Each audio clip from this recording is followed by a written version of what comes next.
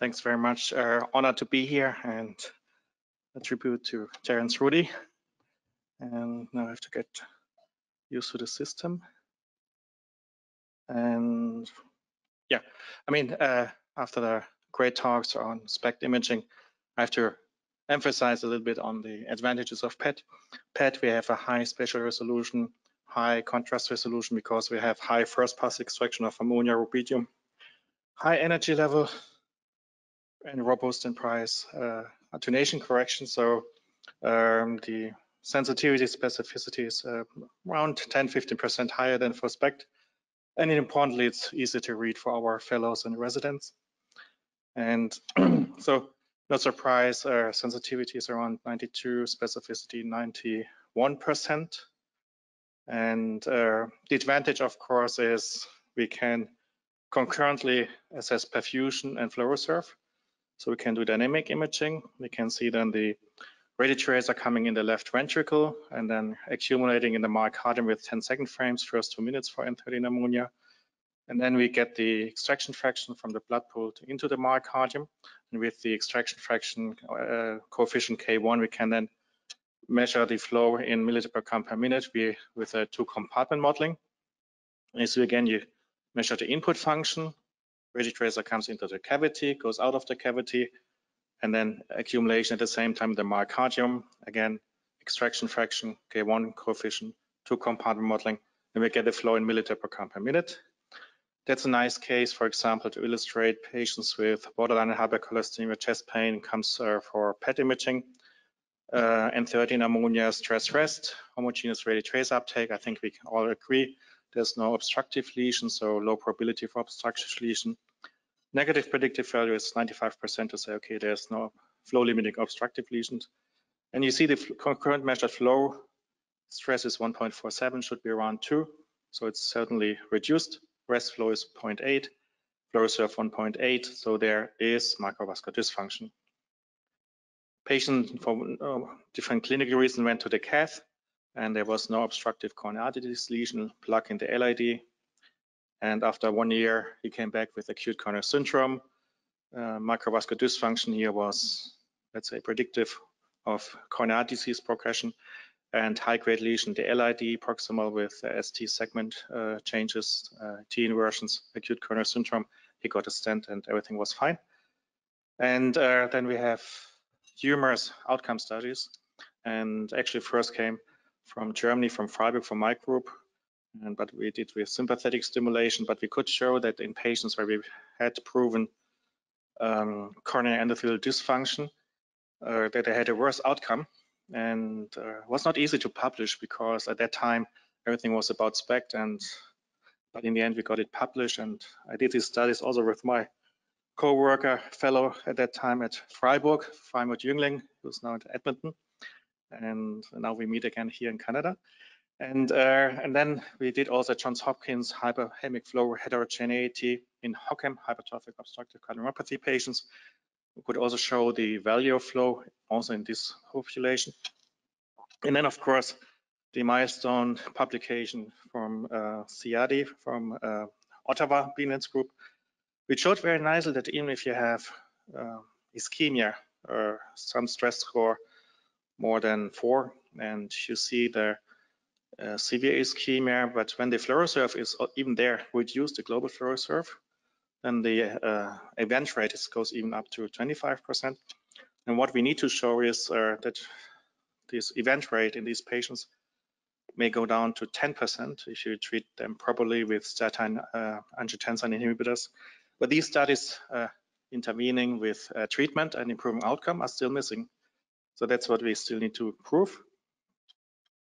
And uh, then flow reserve is non-specific. It can be due to microvascular dysfunction or can be due to obstructive coronary disease. So we need a static images to say, okay, there's obstructive or no obstructive coronary disease. And then when we know there's a homogeneous uh, static, static image uh, on stress, then we can say, okay, there's no obstructive coronary lesion. Then we can focus on the microcirculation. And this now also a case added value of flow reserve, regional flow reserve, patient with uh, ischemia anteroapically. There's a reversibility in the anteroapical region. Not so um, inferior and lateral seems to be normal. And then in the cath lab, or as expected, the LAD is occluded. But you see also there's an LCX stenosis of 80%. And exactly there, the flow, regional flow, segmental flow, shows flow reserve reduced 1.41. So that means this lesion is also significant. And then also in the RCA, there were three lesions, zero lesions, around 50%. Now you can say, okay, hmm, borderline, but they are zero lesions. And we know from the cath lab, these uh, stenoses add up. So also functional significant lesion. So if you go back on the static images, they commonly show the advanced lesion, but not necessarily the intermediate lesions uh, of, like we see here in the LCX and zero lesions in the RCA. So in this patient, he was initially scheduled to, for reopening of the LAD, but when we discussed it in the meeting and say, okay, there's also clearly reduction in reserve in all three vessels with stenosis, uh, then patient went to CABG.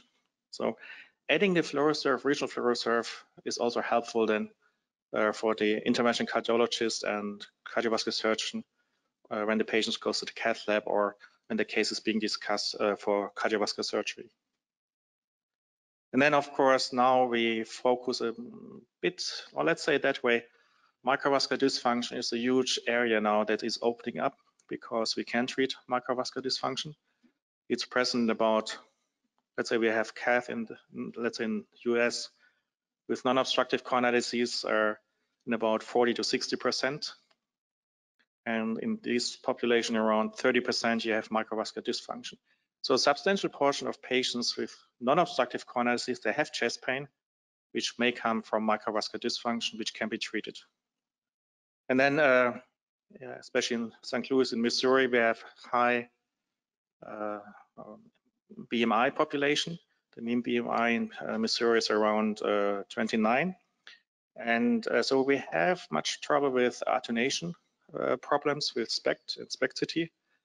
And there, PET-CT proves to be really beneficial in these patients. That's what the insurance also cover then in Missouri. And then also insurance company cover patients who have known coronary disease and um, when uh, they have again chest pain after CABG intervention and they are PET with the segmental regional flow perfusion and flow quantification is really beneficial.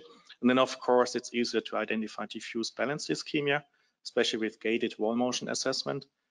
And then the huge portion now is microvascular disease, where also the insurances are opening up to cover this. And again, in really difficult population, PET, rubidium PET has a high sensitivity and specificity. It's easy to read. And now again, in about 4 million of symptomatic patients in the US, uh, they do not have obstruct, uh, they come in the cath lab, in about 60% of them, they have no obstructive coronary disease. So the idea of the Medicare Medicaid in the US is also with high diagnostic accuracy of PET to reduce this number of um, non uh, of let's say I wouldn't say false positive findings, but patients who go maybe unnecessarily to the cath lab, and uh, and to provide high quality care.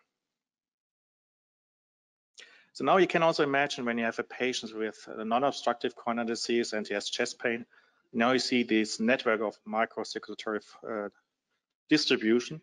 If this is not working, uh, patients really can have chest pain, even if there's no obstructive coronary disease lesions. And of course, uh, microvascular dysfunction may have functional, structural, and uh, myocardial causes.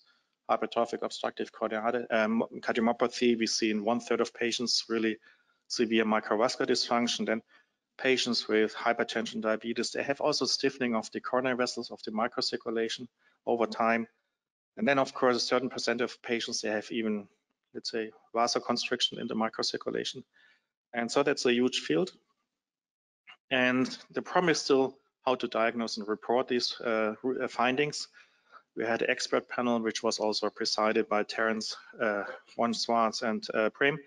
And uh, we have to keep in mind the flow reserve can be reduced either to reductions in hyperemic flow because the vessels are stiff, they cannot open up during uh, stress increase in flow uh, due to uh, classical cardiovascular risk factors, but myocardial reserve can also be abnormal, less than two, because patients have hypertension, Why? Uh, the myocardium has to contract against a high resistance to for the stroke volume into the aorta. And for that, it needs more oxygen supply. So what's this doing, it's opening the microcirculation to pull more volume into the heart to meet the oxygen demand, increased oxygen demand in the myocytes. And the rest flow goes up.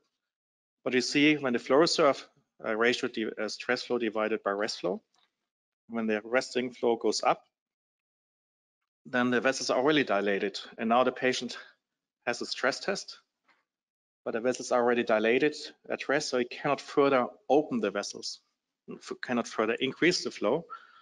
And uh, then you can imagine a patient with hypertension going up two flight of stairs, he may have uh, chest pain and shortness of breath, and that's related to microvascular dysfunction.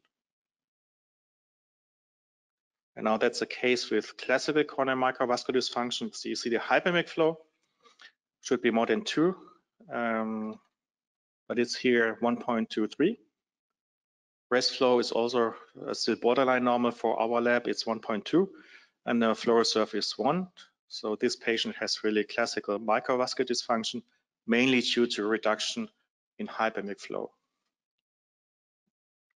And now we have the endogenous or endogen coronary microvascular dysfunction. Patient with hypertension, and you see the resting flow is 1.52 milliliter per gram per minute, should be less than 1.1. In our lab is, lab is between 0.8 to 1.1. And uh, this patient had uh, arterial blood pressure around 160 systolic. And you see also the hyperemic flow is completely normal, 2.34.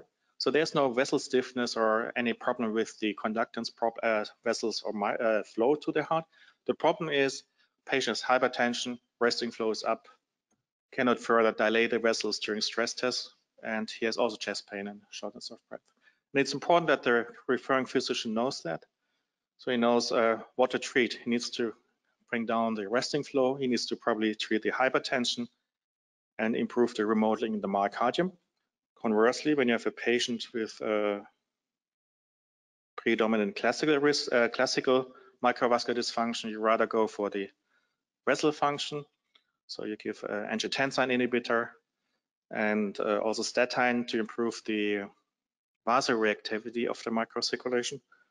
While in this patient with high increase in resting flow, you may give beta blocker, reduces the heart rate, also the blood pressure. Then the flow goes down from 1.5 maybe to 0.9, and patient has then normal flow reserve again, normal microvascular function.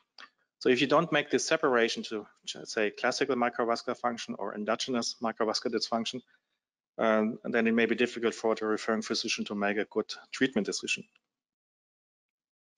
And that's uh, published in JACC Cardiovascular Imaging.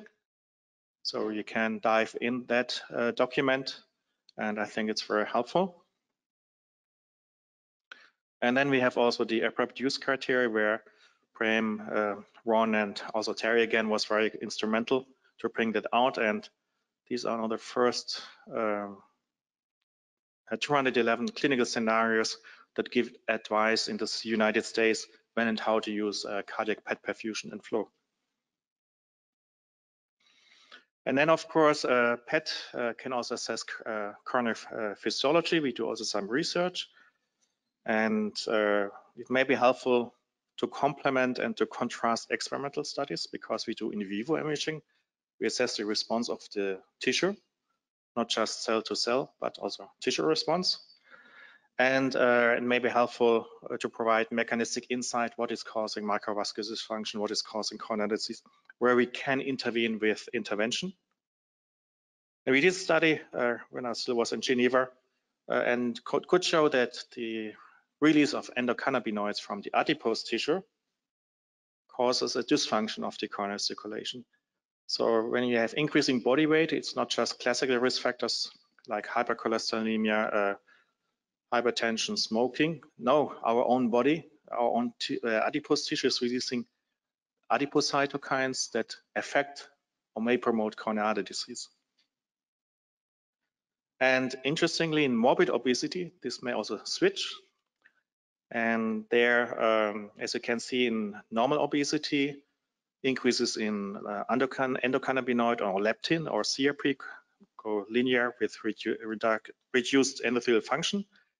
But when it goes to morbid obesity, everything switches because the metabolic profile changes. And then inflammation is even associated with better uh, endothelial function. Probably it's not inflammation itself, but factors responding to inflammation from the adipose tissue that maintain endothelial function. And we did study also the advantage in Missouri is we get really many patients with BMI range for 40 to 55. And so we could show and demonstrate that in increase with increasing body weight initially, the flow hyperemic flow goes down to uh, overweight uh, obesity, classical obesity, but then it normalizes again in morbidly obesity. And uh, we could show the paradox uh, in vascular function in obesity. You see the curve correlates nicely with decrease in flow, but in obesity it goes up again. And the, reason is in uh, obesity, morbid obesity, have completely different metabolic profile. In obesity, it's more cardiovascular risk profile for the vessel because visceral tissue releases oxidative stress, free fatty acid goes to the liver, causes increase in, hyper, in cholesterol and uh, LDL. And then when patients switch to morbid obesity, that changes completely.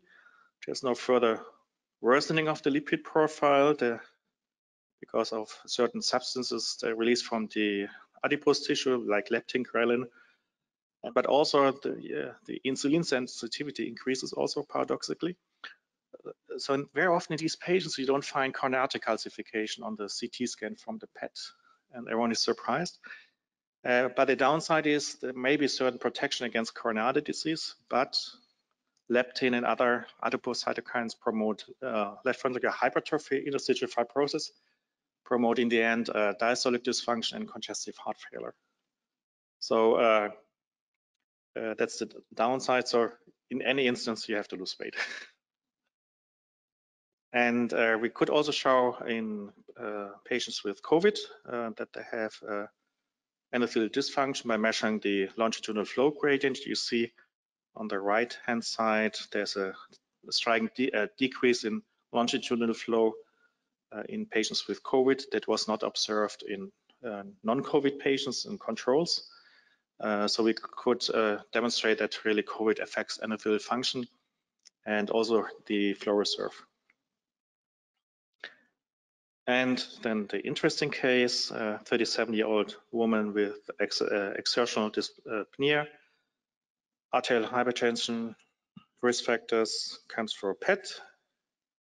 And now we see the rest images and third in ammonia. That, uh, we see already it's a little bit suspicious, but the rest images, but I keep it for myself. Probably the experts see what is happening there. But you see then on stress images, there's uh, reversibility, the LAD distribution, inferoapical, uh, anteroapical, but also TID. So uh, nicely on the polar map. And reserve is reduced. Decrease in ejection fraction from 52 to 27. Oh, everyone thinks that's diffuse ischemia. Okay, it's diffuse ischemia. Probably say, oh, probably left main three vessel disease. Other suggestions? No, it's HOCM, hypertrophic obstructive cardiomyopathy. In this patient, had also a cath before, there was no coronary disease. So this uh, myocardial stunning or diffuse ischemia came from the uh, HOCM, meaning the myocardial wall thickening was more than 25 millimeter. You can see that. And you can also imagine if you have a minor, minor disbalance between stress flow uh, between oxygen demand and supply that there is immediately severe ischemia at microcirculatory level that causes decrease in ejection fraction. Patient goes up to a flight of stairs, has shortness of breath, chest pain. Yeah, and so, and I think this kind uh, we can identify, of, especially with PET and flow quantification, also in transplant vasculopathy, and really patients with severe uh, LVH. And now, uh, yeah, Terrence, Terry, uh, you're, I think, one of the few and unique clinician scientists who can truly witness his own work be translated from basic research to clinical application worldwide, SPECT-PET. Legion in cardiovascular medicine. Congrats, Terry, and riding high, especially in uh, Arabia on the camel. Thank you very much.